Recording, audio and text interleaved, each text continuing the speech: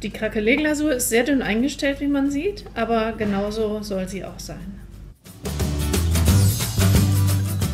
Das ist mir jetzt etwas zu dickflüssig. Deshalb gebe ich einen Schluck Wasser dazu und rühre es gut unter. Diese Konsistenz ist für mich jetzt optimal zum Auftrag.